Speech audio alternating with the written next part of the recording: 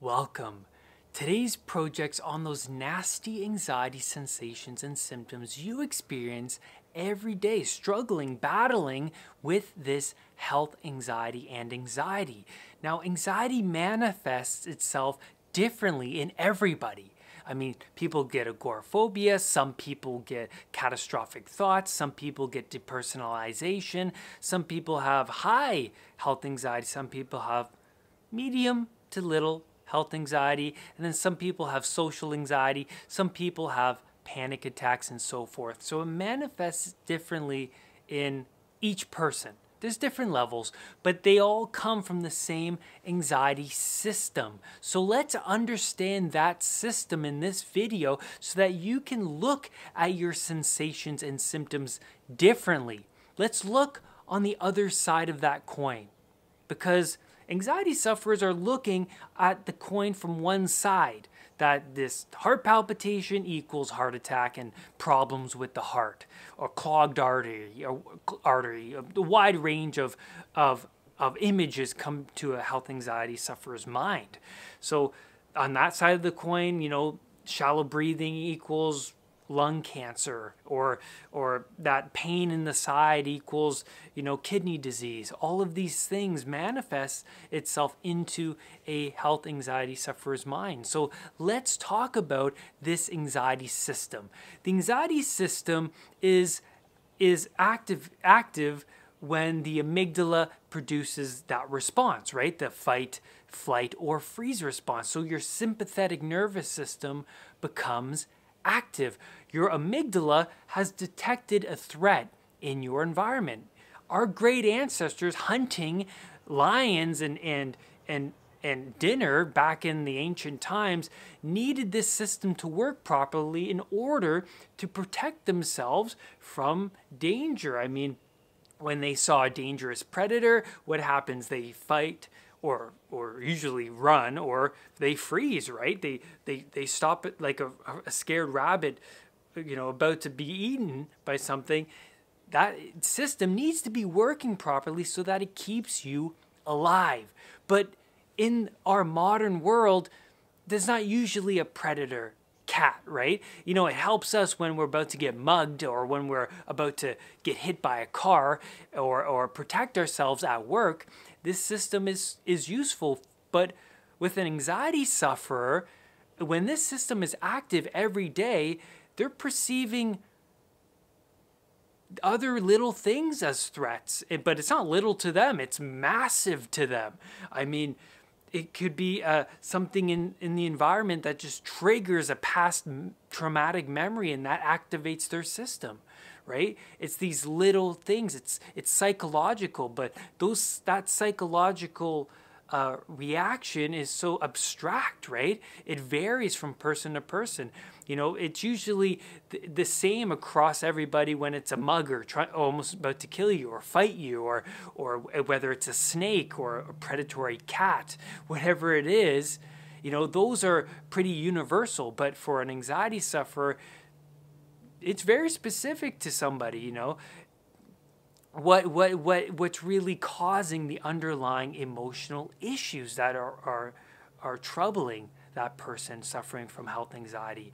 So so when your sympathetic nervous system, when your anxiety response is continuously active, that's not so good for your system. I mean, your system is running uh, so quickly and, and using up, burning all that fuel because your heart is racing. Your heart is pumping more oxygen to your limbs, to your legs and your arms so that you can flee, right? So let's understand that.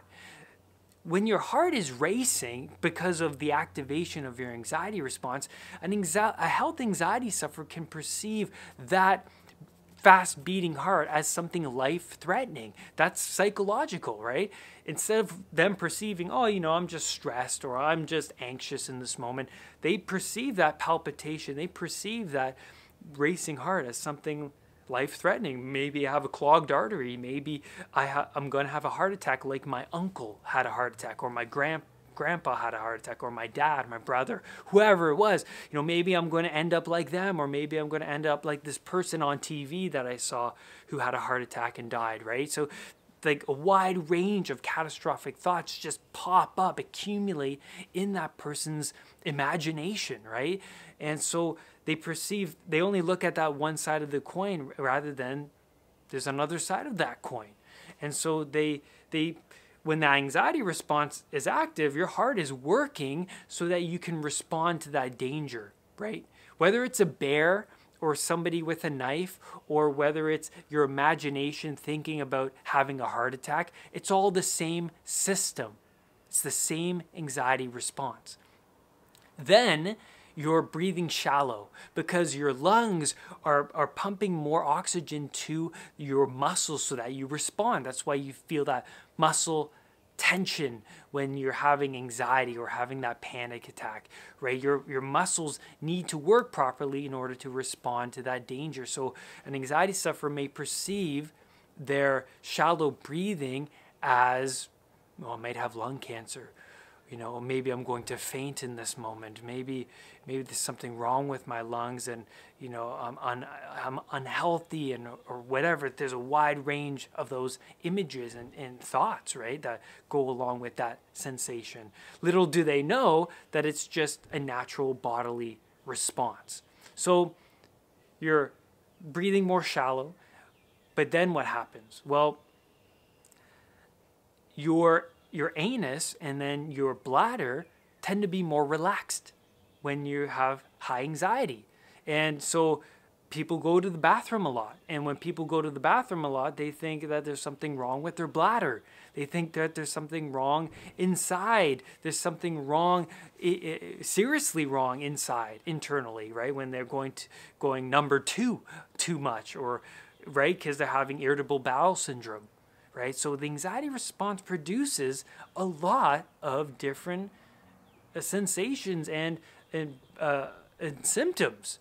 And so it's so easy for a health anxiety sufferer to perceive these symptoms and sensations as being something serious, seriously wrong with them, right?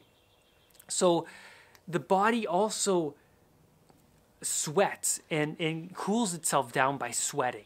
So you might be on the subway going to work and you might be sweating, be like, oh my God, why am I sweating right now? People might think I'm, I'm, you know, I'm going crazy and uh, I'm nervous. People might think I'm weak because I'm nervous. And, and it, it, it, and a lot of the time, anxiety sufferers fear the judgment of other people. That's why they don't want to go out to that shopping mall. They don't want to go to their work. They don't want to go to their school because they, they're afraid of having that heart attack in front of other people and then being judged by those people. Uh, you, you being crazy and weak and, and, and a loser and, and an outcast, right? You don't want to stand out in front of all of these people. And that stems way, way back in our evolution in our history, right?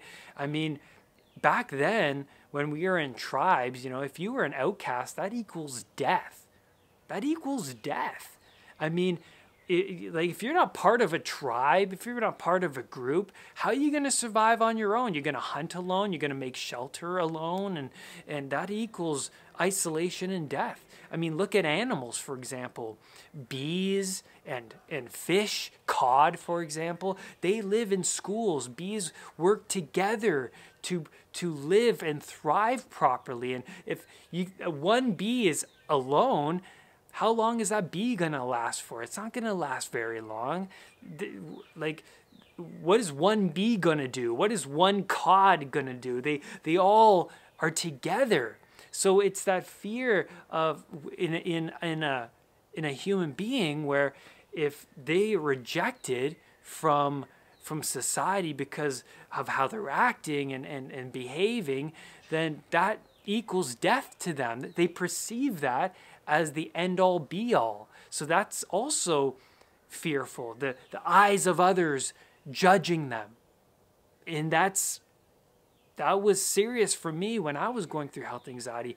That was manifesting itself unconsciously within me right? I was afraid of being around other people and and and fainting or having that heart attack or or having that panic attack and and and being embarrassed. I was afraid of that. It was horrifying to me. And I remember one time when I was at school at in a workshop having a panic attack while I was sitting there in the classroom and I was just afraid of people judging me right in that moment. I was I was thinking, "Oh my god, these kids must think I'm such a weirdo right now because I'm sweating. You know, I, I can't sit still. I'm having this panic attack. I can't really breathe properly. And they must think I am just this crazy person. And then I felt like an outcast in that moment. So you can see from this video that, you know, anxiety just blows up and, and the, those catastrophic images just blow up in a health anxiety sufferer's mind, right? So let's go back to the anxiety response. So your sympathetic nervous system is active, producing all of these bodily, bodily symptoms, heart palpitations, um, sweating, uh, tingly sensations in the hands and the feet. So there's all of those sensations going on. And when your parasympathetic nervous system is is not active, you're you're gonna feel nausea. Right? The parasympathetic nervous system is your rest and digest. So that's when you can digest food properly. That's when your body is relaxed and and, and your your your muscles are relaxed. But when your sympathetic nervous system is active, your your your body's working on overtime. It's it's pumping so much gas and, and excreting so much gas that it, you're you're you're ready to go, man. And if that's active all the time, you're just gonna burn yourself out. And if you're going through anxiety, then you're gonna feel like you're you're burnt out way too often. And that's because of that system being continuously active. And you may feel nausea when you have anxiety because there's not enough blood traveling to your stomach, right? And so when your parasympathetic nervous system is active, you can digest food properly. That's no problem. You feel fine. But when your sympathetic nervous system is active, you're going to feel nausea. You're going to feel sick. You might feel like throwing up because there's not there's, well, why am I going to eat in a time of threat, right? You've you're you're reacting to something in your environment as being life-threatening. There's no time to eat food right now, so the blood is not going to your stomach. Your your your your rest and digest system is not working. Your your the body's preparing itself to stay safe. So that's why anxiety sufferers feel nauseous as well. And that's why when an anxiety sufferer is in a public environment, they're afraid and fearful of throwing up in front of other people and then having those judgmental eyes just attack them, so to speak, right? So let's go over the symptoms and sensations before I end this video so that we can understand what happens when our anxiety response is active. So heart palpitations, racing heart, shallow breathing, tingly sensations in the hands and feet, also the head, dizziness, um, which which happens a lot when somebody's experiencing depersonalization. There's also also nausea, sweating, uh, diarrhea, constant urination, constant bathroom visits like I used to do. Uh, I thought something was wrong with me and uh, with my bladder when I kept going racing to the bathroom, right? Um, and uh, muscle muscle tension, headaches, you know, ten- tension in the in the neck, tension in in the stomach region, tension in the lower back. These are all common anxiety symptoms. Now, I hope this video has helped you understand that it's easy to perceive these bodily sensations and symptoms as being something serious. And to a health anxiety sufferer, uh, there's a lot of catastrophic images that are involved when they feel that heart palpitation or they feel like they're having shallow breathing or they feel like there is a lump in their throat sensation that they can't really swallow, right? Their mouth is dry or they have that headache and they believe it, that it's a, a brain tumor or or maybe they believe that the pain in their stomach is something serious so they go to the doctors constantly so look on the other side of that coin, and that's a great start to your anxiety recovery. Now, thank you so much, and thank you for subscribing to this channel. And remember, do not let anxiety define who you are. And I will see you on the next video. Bye.